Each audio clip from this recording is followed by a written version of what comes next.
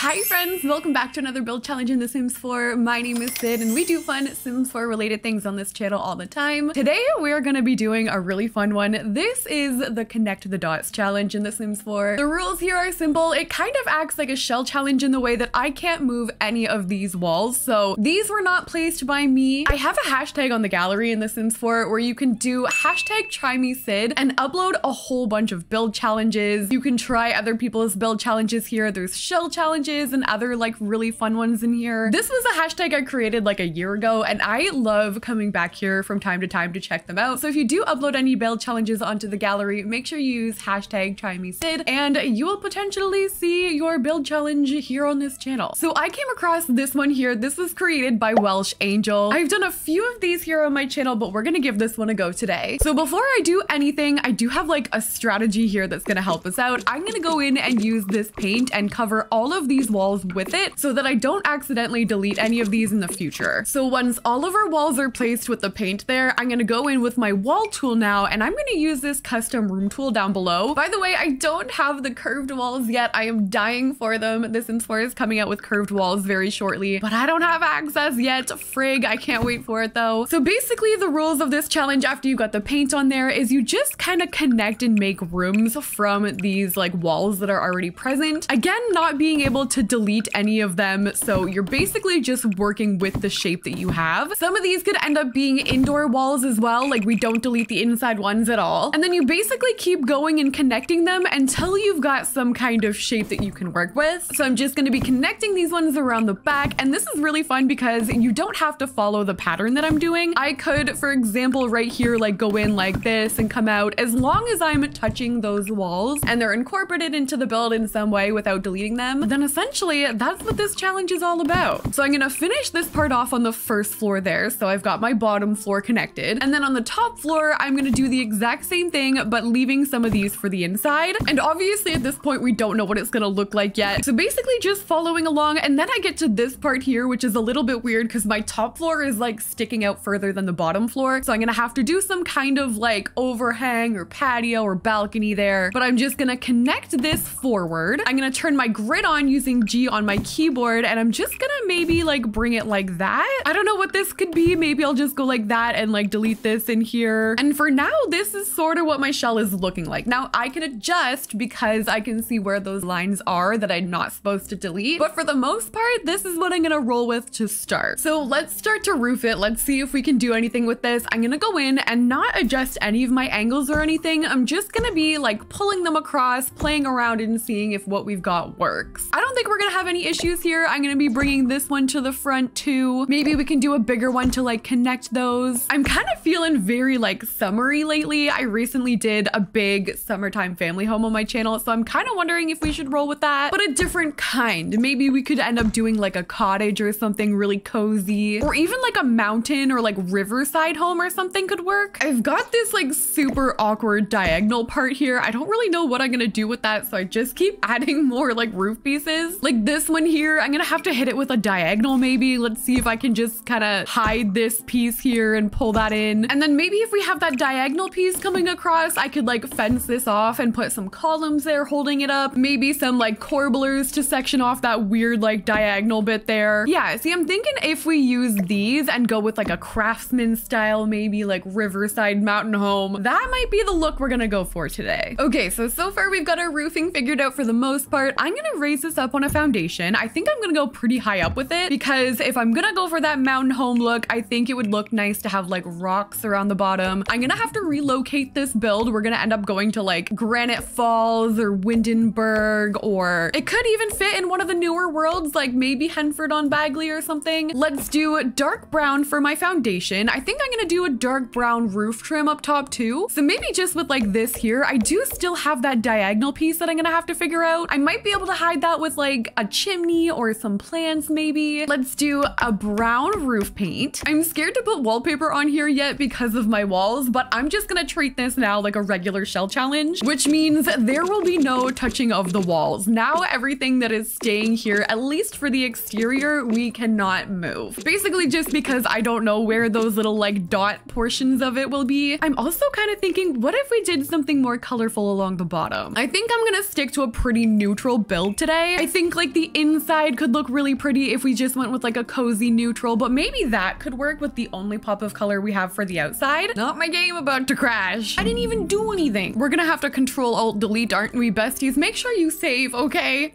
Luckily I did, but here's your daily reminder to make sure you remember to save your games. I'm gonna take this time to remind you that I do have a vlog channel and I just recently posted a wow. brand new vlog, so check it out after this video comes back. There we go, we're back. Okay, I'm gonna go ahead and add some roofing details and I wanna start to build out maybe my front porch. Then we're gonna have to figure out a solution for my floating like top floor there. So we're gonna go in first with this. I'm gonna connect it to maybe like there. That'll be a good little porch. And I'm thinking like a rustic style would be really nice today. So I think I'm gonna do some jungle adventure flooring. I like that wood on there. I think I'm gonna bring that up into some of the balconies too. And then for this part here, what I'm thinking we could do is go in with like a stone pillar or something, maybe even something like this. And I want to connect it to the corners there. And I think it would look really nice if we went in and played with the terrain there and made a little pond. So I'm gonna go in with this. I'm gonna shrink my terrain tool and just go along like the side here. I don't think it's gonna be anything too crazy. I might just like bring it like that. And now we can fill this up with water and the pillars will be like staying in there. So I think that'll look a little bit better than it just like being held up on the ground. Let's move this house back a little bit because I wanna start going in and adding our rocks. I'm gonna get my stairs going up right here and then we're gonna go in and open up debug. We're gonna do bb.show live edit objects. I think I'm gonna have to turn back on move objects since my game crashed and bb.show hidden objects just to open up the whole thing. And I'm basically gonna scroll until I can find those big rocks. These ones here, I might do a combination of base game and any of the rocks that have this shade here. Like some of them are darker. I'm gonna be going for that kind of color. And I'm hoping that once we move with this, this is gonna end up having like that mountainy, like cottage kind of effect. Then in the back here, I still have this awkward little spot. So I'm gonna use just like a half gabled roof piece, bring it in. And this is where we're gonna have like our back deck leading out. We can do a fence, just like a small stairway leading out here. I've got my stairs. I'm gonna get some terrain paint just to like mark the spots that I want back here. Maybe we can do a little fire pit back there. I'm gonna add big pine trees, like these ones, big tall trees. And then I think I'm gonna continue my rock adventure like all the way back around here. So I've gotten a good start on my landscaping. I've got all the rocks around and I think it looks pretty cool with like the river in there. I think next I'm gonna find my windows and doors. So I've been going through this like cats and dogs phase. Every so often I just get hit with this like obsession over a different pack. This time, this month, it's cats and dogs. So we're gonna be going in with one of these. I tried to make this more like centered here because I have that like awkward bump out there that I can't delete. I'm gonna try and work with it the best that I can here. I might put like a tree in there, like a small tree that I can shrink down and just put in like a pot. Like that could work there. And then up top, I need a smaller door to use, which I could use seasons. I feel like seasons would match the vibe that I'm going with. The snowy escape doors could also work in that like dark brown shade. Then we could also go in with some snowy escape windows. I really do like that dark brown shade with this. And I think I'm gonna change the top roofing wallpaper to this Tudor style from Get Together. I love how this looks. I've been doing this a lot lately, especially in like the Bloomcrest build series that we've been doing. We'll get some chimneys up here. I think I'm gonna do two different types. Like we'll do that one and then this one here from Get Together. And then also for a different kind of roofing detail, I was thinking about going in and adding these. I'm gonna have to find a proper shade for it, but I think that could also match the like look that I'm going for up top with the roofing details. I still have a little bit of work to do on my landscaping, but I think I wanna add like a seating area right here. And the packs that we can use for this today that are gonna work really well will be like The Sims 4 Seasons, Werewolves will look really good, the Outdoor Little Campers Kit, Outdoor Retreat. So I think I'm gonna use a couch set here from Seasons. We'll get some werewolves in here with that like rugged style. We can lighten it up with a few plants here. I like that barrel one from Dine Out. I've been using that one a lot lately too. And actually the color scheme of this here is gonna match my house perfectly. So I think upstairs I'll probably add like another door around here or something, but I could do a seating area. And then I can get those matching chairs from the industrial loft kit in this blue shade that matches the side of my house. And then we'll end up with some really cozy spaces outside. Okay, so I moved, I added all of the details onto the exterior and this is what it's looking like here. I think this looks so cute and cozy, especially with that background. I moved us into Granite Falls, so we're in that like camping area. This could be like a real bougie cottage, but I think I'm going for more of like a residential thing. But anyway, this is how it turned out. We've got our balconies up top. We've got a whole bunch of like seating areas in this build. I feel like it just fits right in with this world. And then in the back, the original lot that I was building on was a little bit smaller than this one. So I ended up with a little extra space. So I've just been filling in like adding more trees, adding some extra grass. This could be like a play area, buildable area for like if you download this. I could see like a cute camping in the backyard scenario. You could add like tents back here or something. But all I did back here is I added a fire pit. I've got a picnic table with a little picnic basket and of course a barbecue. Right on the water, your Sims can go fishing back there. And I think this is a perfect location for this little build. Let's go inside. We need to still figure out the layout here. Okay, so the challenge isn't over yet. We still have to figure out how to make this inside work. And it's the same kind of concept as the outside where I have to like connect all of these to make rooms. Nothing can be deleted. So what I'm gonna do is just kind of start to make some rooms that make sense.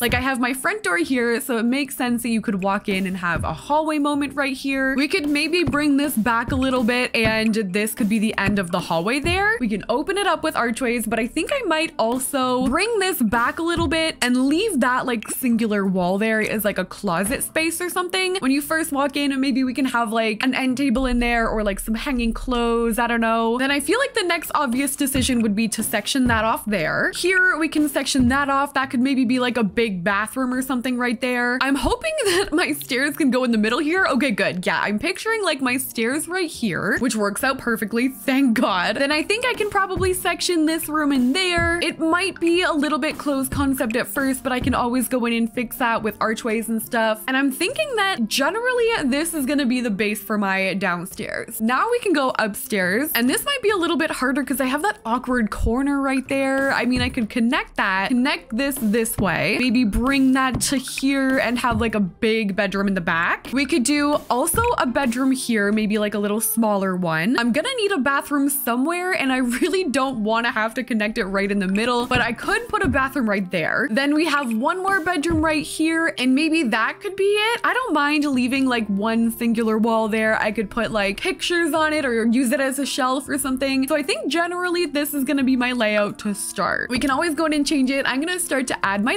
lighting and we're definitely gonna go in and add those archways right off the bat. So I'm gonna use these ones from Cats and Dogs, keep with that like dark brown color. And I think I might open up pretty much everything other than the bathroom. So we can use a smaller, like slimmer one here near the stairs. I think this could be like a really cute reading room, like right when you walk in. And then I can use seasons for the other doors here. So that dark brown and then upstairs, we'll probably just bring these doors all the way through here. And then like I said, I wanna go really neutral and cozy with our color scheme. So I think I might use cats and dogs. I'm gonna bring this through pretty much everywhere for now. And then later on when we do the bathrooms, we could change it. And for the wallpaper now, I'm gonna go in and use these like neutrals here. Basic darks from base game. I also wanna bring in some stone and I feel like it would look really nice on those like weird bump out wall pieces. I've been loving vampires lately. I'm gonna use some vampires brick, maybe in this shade here. So I've done all my flooring and wallpaper. I'm obsessed with this like color scheme here. I think it's gonna be so soft and pretty, neutral, cozy. I've also downloaded a whole bunch of art from Catatron 16 on the gallery and I've been playing around with it. I'm going for this again, like rustic countryside, like cottagey mountain style. And I just quickly downloaded like a whole bunch of art that I thought matched the aesthetic that I'm gonna go for. So I actually think we're gonna start upstairs today. I've been really loving starting off doing my bedrooms and kind of going from there. I've been adding in some of these cottage living lightings to warm up the place a little bit. And I'm gonna try and stick to those packs that I said earlier, like seasons, werewolves, those kind of items are gonna be coming in here. So I'm gonna use that bed there from seasons. I wanna bring in, let's bring in a few different items from werewolves. I find building with this stuff in regular homes, like not just werewolves homes, is really cute. I love the style of some of these items, so we're gonna be playing around with quite a bit of it. I'm gonna put that on top of that there. We can fill that up with cute clutter. Let's grab a couch. I think I'm gonna use this one here from base game. We'll do a coffee table there in the middle. This is a pretty big bedroom, so I'm trying to like take up space, make little rooms within the room. Let's get some basic end tables near the bed. And I think we're gonna be seeing a lot of like lamps in here, candles. I'm gonna have to download some kind of picture to go above my bed, but I think I wanna use the mirror from Outdoor Retreat, like that stand up one there in the corner. We'll get some plants going in here. And in terms of like the challenge, this room honestly is pretty normal. We're not struggling too much. I think the downstairs might end up a little bit more difficult. I think that's maybe why it was gonna be a good idea to start up here, get the style and the aesthetic going, and then tackle like the harder part. So I'm gonna get another dresser in here. I think those like big trunks from werewolves function properly, but I'm gonna get another one just in case we can't actually open that one with the shelf on top. I feel like the family that lives here is either gonna be like an older family with like kids that have moved out or a younger family who hasn't had kids yet. I don't really think I'm gonna have kids in this house. We could do a guest bedroom with like room to grow in this house, but no kids yet. So this is what the bedroom has turned out like. I've got some pictures here from that gallery page, Catatron 16. I love how these ones turned out above the bed. I think that looks really pretty. Over to this side, we've got our dresser. I have some chairs, a laundry hamper, and a fireplace to make sure that we stay nice and cozy in this little room. Let's go and do the other bedroom across the hall. And this one over here, I think is gonna be just like a single bedroom. This could be a guest bedroom or something. So let's start off getting a bed there. I'm gonna get maybe an end table here from Seasons. This light here could match the vibe. Nice cozy rug. Ooh, this looks so comfy and cozy. I love this room. I love that brick. I'm gonna try and do, this is gonna be a little bit of a big dresser, but if I squeeze that against the wall there, we can use that one from Get Together. And then maybe we can go in with like a plant in this corner like that. I'm gonna have to find something to put above the bed, just like a little piece of art or something. Some laundry hampers in our bedroom. And then I think on the other side, I wanna maybe do like a skill item over here. I'm actually thinking like an easel in this corner could be really nice, like looking out into the woods. Ooh, actually, uh, with that in mind, we could find some of these eco lifestyle canvases, and that actually kind of looks like what that looks like across. So maybe this person spends their time like painting the landscape and stuff. I think that could be kind of fun. It could even be like an elder family with like an adult kid that like lives with them. That's kind of the storyline that I'm thinking with this house. So this is the next bedroom, the adult bedroom, possibly a guest bedroom. We've got our easel over to the side, our paintings of our landscape in our neighborhood. On this side, I added these blinds, which I know I've been covering up windows a lot lately. Like maybe they look a little bit better without it. I personally feel like the curtains add a little bit more of a cozy vibe, but I guess in this scenario, we don't really have too much going on like around us, so I can leave it open. But this is the clutter I added in here. I love that picture, which I downloaded again from the same artist. And I think it's looking really cute so far. I'm gonna go out into this area. I've started adding just a few things that I found, but they didn't really fit the bedroom vibe, so I put them out into this hallway. I think right here could be a perfect spot for a fireplace. So let's get a big one, maybe right here. I'm thinking like the cottage living one could be really cute, or even possibly this one from Cats and Dogs. We get a nice comfy couch across from that, keeping it pretty neutral. And then I want to see if there's any more werewolves items because I've been finding some really cute things to add from that pack. Let's do maybe this mirror here from werewolves. And I want to get more of like a woodsy feel in here. So I think I might actually add outdoor retreat to my filter. And I even want to use like this furniture on the inside. It's to be like cozy forest chic. That's the style we're going for here. So chair there, I could do a chair here as well. This little rug could be a cute addition here. I'm to put that right at the exit. We could add this outdoor retreat mirror to the side. Maybe this could be a cute little stool right there. And there's even like the exposed stone items, which in normal circumstances, I would keep those for like being used outside. But I actually think I could get away with using that there at least as like a table. And then we cozy it up by adding like pillows on top. Like I'm gonna go and get the pillows from the little campers kit. And these are gonna be a perfect addition there because they have the little like tree designs on there. They're clearly meant for like a camping scenario or environment. And then we sort of have that like awkward brick wall right in the middle, but I don't hate it. I'm thinking I could maybe add on some like shelving right here and get away with that. Just put some clutter, some kind of like pictures on the wall, like of the family or something. Like a notebook, I can even just raise this stuff up, just like little clutter. And then we're making use of the space. It's not just like there for no reason, you know? But I actually didn't think it looked half bad just by itself. There, just something simple, I think. Still getting that cluttered vibe, coziness. I quite like it. This is what the rest of the hallway is looking like over to this side. I added our seating area in here. I've got some decor from Outdoor Retreat and Eco Lifestyle. I really love this little nook over here with the brick. I feel like that matches exactly what I was going for. Let's move on. I've been also adding some like artwork that I liked into this room here. This is gonna be, I think, an office. Again, if you did download this and wanted to add like family gameplay, there are extra bedrooms that you could easily add into like a kid's room instead. But for this one here, I'm gonna get a rustic yet comfy looking chair, maybe with like the flowers on the back there. Let's see if I can pull it together once we've got more stuff in here. So I'm gonna add a computer, maybe like an older looking one, matching candle there. I could add a plant on the desk. So our office ended up pretty cute in here. I added some more outdoor retreat decor. We've got werewolves bookshelf, some more art that I've downloaded. And then on this side, I added a grandfather clock. I thought that brought together like the rustic feel with that picture there. All I really have to do on this floor is the bathroom, which I know The Sims 4 Seasons has some really great items that are gonna match our vibe. So we're gonna go in with this bathtub here. Maybe I'll put that on that side. I might go full seasons with the bathroom essentials. So we've got our season sink, toilet, the whole set. And I think I'm probably gonna go in with the same mirror as well. And then we'll bring in the green, just like we've got in the rest of the house. We'll do like green towels and accents. I think I might do a whole brick bathroom in here. like there's no window in this bathroom, which is probably not right. But the way that it worked out with this challenge, I'm just gonna roll with it and brick it all in because why not? I feel like these like yaks or whatever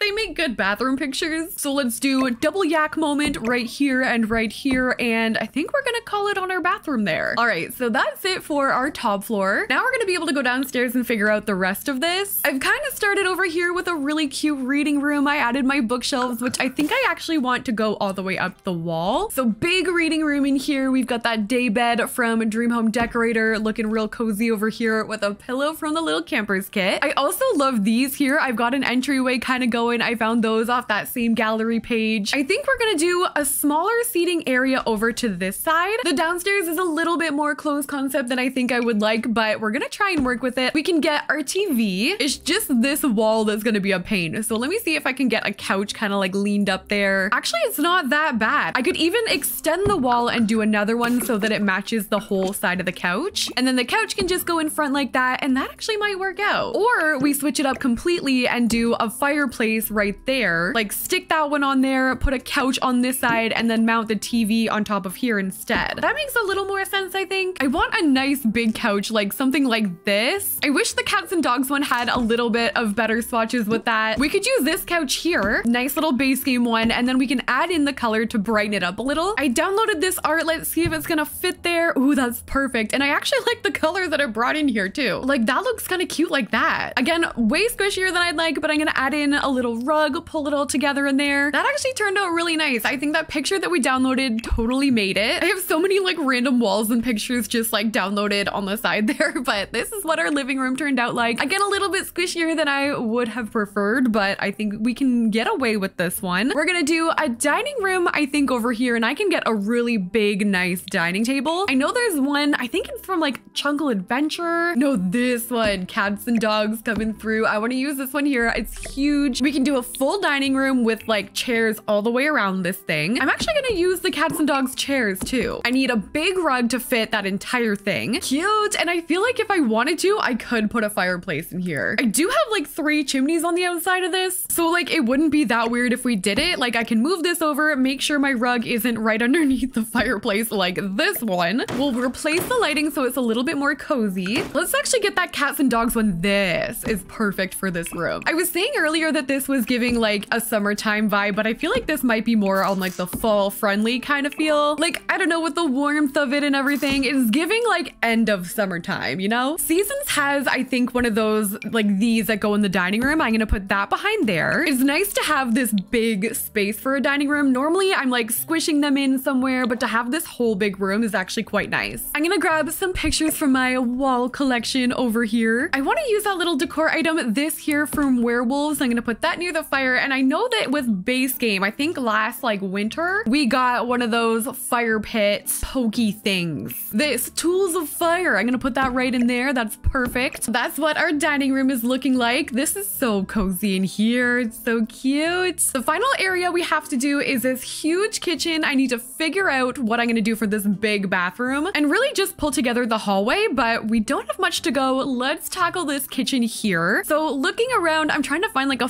flat surface for where I can put all my counters. Let's do right here, we can do the fridge and like the main cooking area. And I think I'm gonna go in with like some cottage living, probably cottage living counters too. Like we can go in maybe with this white here. I'm gonna have to try and bring it around this corner here. I don't know if that's gonna look weird, but we're gonna try and just like bring it all the way this way. Or maybe the location would be a little bit better over here. Yeah, let's do this instead. We'll do all counters that way, counters here, and then I wanna like incorporate that that somehow. I just don't know how to do it. We could do the same thing and like lean into it like we've been doing with the other walls. This was one of the dots that I can't delete. So maybe if I extend it a little bit like this and add some sort of design feature, I could maybe get away with doing like a breakfast table right there. Just like a small table. I'll get some chairs to match. And like, what if I put a window on there or something? I don't know. Maybe it's just like a little scene. It looks cool. There's not really a reason behind it, but it's there, you know? And I'm changing my mind again. I think I'm gonna go with the perfect patio, like stone counters, like these. Yeah, so now we have our layout. Now we're just gonna go in and start adding our essentials. I need my oven to be probably like here. Ooh, I love this light here from Cottage Living. I think I'm gonna add that in. Maybe I could do a coffee corner over here and add that on there and do like a chalkboard. We could even have a microwave over in this corner. And then our sink can maybe just go right here. Of course, we'll add a s'more station right by the door. We've got our fire pit like literally right outside. So this is what the remainder of the house ended up looking like. We've got our kitchen over to this side. I have all of my essentials over here. That cute little area here, which I thought looks adorable. Our breakfast nook with the window there. We have our coffee corner with our microwave over to this side. I added a bar in this area because I needed something to just like fill the space. I also did a bathroom in here with a built-in laundry area because I realized I didn't have a laundry room, but I had a lot of hampers in the bedroom. So this is what our bathroom ended up looking like. It's really